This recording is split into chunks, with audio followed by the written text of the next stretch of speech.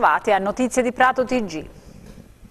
Sono ancora numeri da zona rossa, quelli di Prato, anche di queste ultime 24 ore, con 108 nuovi contagi e due vittime. Facciamo il punto nel servizio di Claudio Vannacci.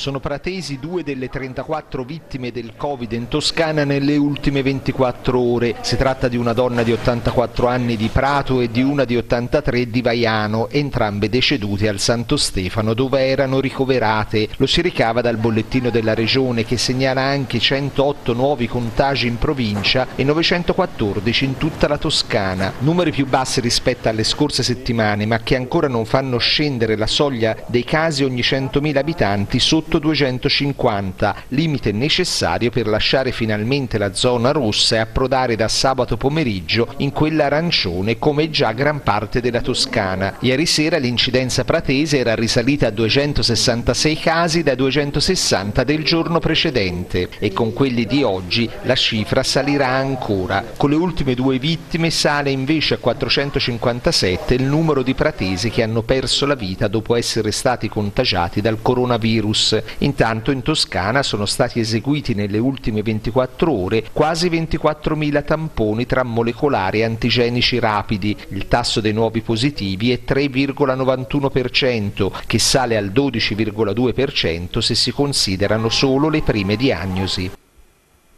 Migliora la situazione dei ricoveri al Santo Stefano mentre resta critica quella delle strutture intermedie, il CREAF in particolare, per attivare altri 20 letti sono in arrivo eh, tantissime assunzioni. Sentiamo.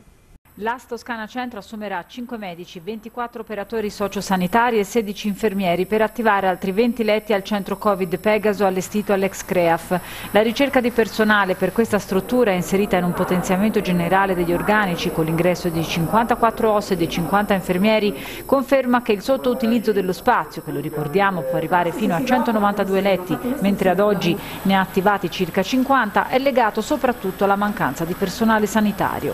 L'impianto iniziale iniziale che prevedeva di integrare i sanitari di nuova assunzione con quelli già in servizio provenienti da altre strutture dell'Ast Toscana Centro e delle altre aziende sanitarie regionali che avrebbero usufruito di questo spazio per sgonfiare i propri ospedali, si è arenato su una coperta troppo corta per coprire il fabbisogno d'organico ordinario dei reparti Covid e delle strutture extraospedaliere.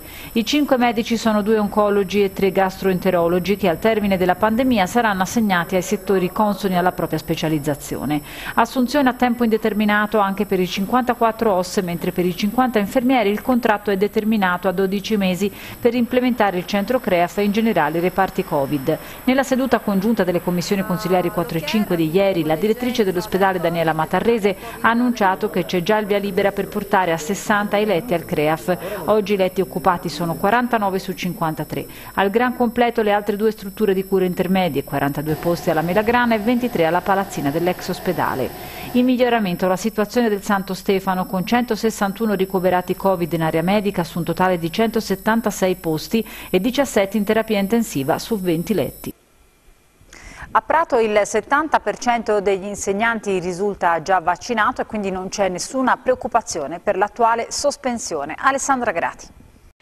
La decisione del governo di sospendere i vaccini per gli insegnanti e il personale ATA a Prato non ha creato proteste o perplessità, visto che circa il 70% dei lavoratori della scuola è stato vaccinato, almeno con la prima dose. L'importante, spiega Stefano Pollini, presidente provinciale dell'Associazione Dirigenti Scolastici, è che venga garantita la seconda dose. Abbiamo raggiunto una percentuale molto alta, quindi credo che non ci saranno impatti negativi sullo svolgimento dell'attività didattica didattica. Per le scuole superiori però si chiede che gli insegnanti che non hanno potuto ancora essere vaccinati e che sono stati nominati nelle commissioni d'esame possano avere il vaccino. Intanto però, nonostante il prolungamento della DAD da più di un mese, continuano i contagi anche fra gli insegnanti che stanno aspettando la seconda dose, i ragazzi e i loro familiari. Un'attenzione particolare, spiega Mario Battiato, dirigente dell'Istituto Comprensivo Gandhi, va riservata ai docenti delle scuole dell'infanzia e del primo ciclo della primaria primaria, dove i bambini frequentano per otto ore, mensa compresa, una situazione che è sicuramente più esposta rispetto ad altre, sia perché i bambini sono piccoli ed è difficile mantenere le distanze, sia perché durante la mensa le mascherine vengono abbassate. Dall'istituto comprensivo Malaparte fino alla Marco Polo i dirigenti scolastici non hanno registrato particolari lamentele né da parte degli insegnanti né dei genitori.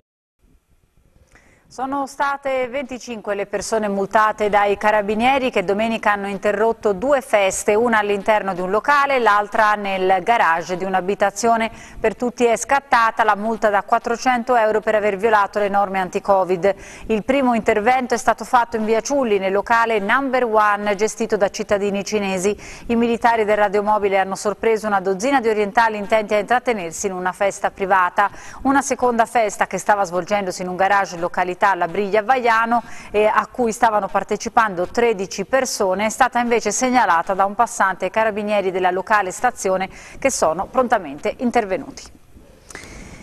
La polizia postale ha trovato centinaia di foto pedopornografiche nel computer di un insegnante di educazione fisica in una scuola di Pistoia. L'uomo è residente nella provincia di Prato, è stato arrestato e già scarcerato dal giudice che ha disposto soltanto la misura della sospensione dell'attività didattica. Claudio Vannacci è stato rimesso in libertà dal giudice con la misura cautelare della sospensione dall'attività didattica l'insegnante di educazione fisica sessantenne, residente in provincia di Prato, arrestato lo scorso fine settimana dagli agenti della Polizia Postale di Firenze con l'accusa di detenzione di materiale pedopornografico. In particolare i poliziotti avrebbero trovato qualche centinaio di immagini di bambine e minori fra i 10 e i 14 anni che l'uomo aveva scaricato sul proprio computer. Il sessantenne quarantenne insegnante di educazione fisica in una scuola media del Pistoiese, è stato denunciato dalla moglie e dal figlio che avevano scoperto le foto sul computer del congiunto. Ieri il docente è comparso davanti al giudice per le indagini preliminari del Tribunale di Prato Francesca Scarlatti per l'udienza di convalida dell'arresto. La procura ha chiesto la custodia cautelare in carcere ma il giudice ha respinto la richiesta e ha disposto solo la sospensione dall'attività didattica con l'immediata scarcerazione carcerazione dell'uomo.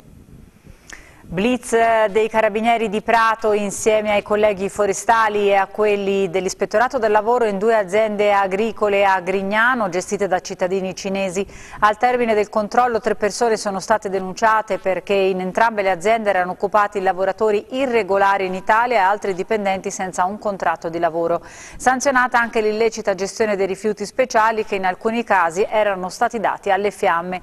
Oltre alla sospensione dell'attività sono state combinate complessivamente sanzioni amministrative per 25.000 euro.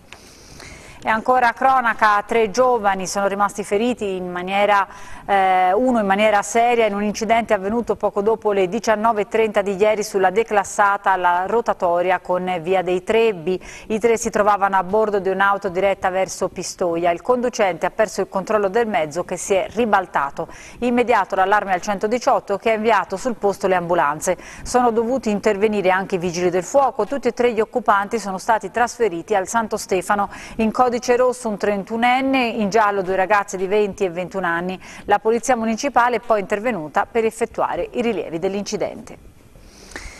Al Buzzi le nuove aule di informatica sono inclusive e ci sono dei computer che permettono di scrivere con il solo sguardo. Alessandra Grati una webcamera, un'aula tecnologica e un programma speciale per permettere agli studenti che hanno problemi di mobilità agli arti di scrivere, disegnare e risolvere equazioni. In una delle tre nuove aule informatiche dell'Istituto Buzzi, realizzate col contributo della provincia, è stata attrezzata una postazione speciale. Questo è un face mouse che eh, utilizza le capacità residue eh, di, eh, degli alunni che hanno difficoltà nel eh, movimento degli arti e quindi attraverso il movimento oculare si eh, punta diciamo, la, la, lettera, in questo caso è un programma di scrittura e eh, si scrive. Nelle aule gli studenti del triennio stanno lavorando anche a un nuovo progetto per la realizzazione di siti web accessibili, proprio partendo dalle indicazioni e i contributi dei ragazzi con disabilità. Faceva ehm, il computer e, e quindi volevo vederlo più diciamo, da dentro Non solo programmi e postazioni speciali, ma anche lavagne. In realtà sono delle tavolette come un, un, tablet o un iPad che si utilizza in rete eh, con tutti i collegamenti software che possiamo connettere, un telefono, un computer, eh, una penna USB e queste consentono di fare, di scrivere, di, di, andare, di navigare in rete e di fare tutte le attività didattiche come la presentazione del, dal singolo computer la possiamo visualizzare sullo schermo intero. La bella stagione si avvicina seppur condizionata dalle normative anti-Covid, il cartellone Prato Estate è in fase di definizione, eh, ci saranno tra le location anche Villa Rospigliosi e il cortile di Santa Caterina. Sentiamo. Ci saranno anche il giardino di Villa Rospigliosi e la corte di Santa Caterina tra i luoghi che ospiteranno gli eventi del cartellone della Prato Estate realizzato dall'assessorato alla cultura del comune di Prato. A causa delle restrizioni Covid sono stati scelti luoghi all'aperto che garantiscono una maggiore presenza di pubblico nel rispetto del necessario distanziamento. Grazie alla disponibilità della proprietà della storica villa di Via Firenze che ha concesso l'uso gratuito dei giardini, nel mese di luglio saranno ospitate otto date dedicate al jazz e alla musica classica classica a cui potranno prendere parte fino a 150 persone.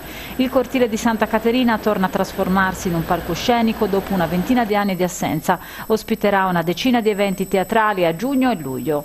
Oltre a queste due novità ci saranno l'anfiteatro Pecci per nove concerti a pagamento con una capienza di circa 240 persone, i chiostri di San Domenico e del Duomo. Altro spazio importante di questa seconda estate di eventi culturali al tempo del Covid è Officina Jungle di Piazza dei Macelli che lo scorso anno ha riscosso un buon successo di pubblico. Anche quest'anno si è aggiudicato lo spazio e fino a 20.000 euro di contributo a consuntivo Bira on the Road di Raffaello Rubino con la direzione artistica di Alessandro Rubino. Al suo fianco ci sarà un un ricco partenariato in cui troviamo anche Fonderia, Alive, Teatro Metro Popolare e Atto 1.